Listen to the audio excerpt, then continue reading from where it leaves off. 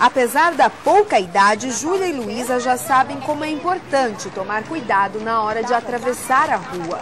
Mas essa educação no trânsito não vem só de casa. A escola também tem grande participação e, na maioria das vezes, são elas que alertam aos pais sobre o que é certo e errado. Eu acho importante para eles atravessarem não só na faixa, como saberem os sinais também e as placas também, que para eles, às vezes, eles mesmos acabam ensinando e lembrando a gente, né? Com o fim das férias, nesta segunda-feira, mais de 58 mil alunos voltam a circular pelo trânsito de São José dos Campos, seja a pé, de transporte escolar ou de carona.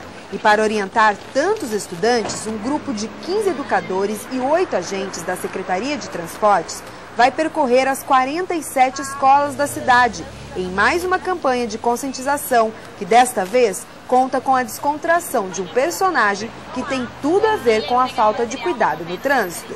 Para Não Dar Zebra é uma campanha que a gente pegou um mascote, que é a zebra, fazendo alusão da faixa de pedestre. Então, para lembrar tanto os pais quanto os alunos, para quando estiverem chegando próximo à, escola e até mesmo em algumas outras vias dentro da cidade de São José, para fazer o uso da faixa de segurança.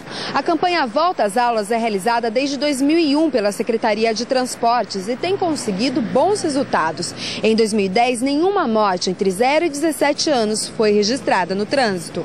O ano passado nós abordamos mais de 15 mil crianças só em porta de escola, em volta às aulas. E esse ano a gente está começando hoje, segunda-feira, e vamos aí para depois de março ainda. Então, cerca de 30 dias de campanha volta às aulas nas portas das escolas, que vão ser 47 escolas de São José dos Campos, entre particulares, municipais e as estaduais também.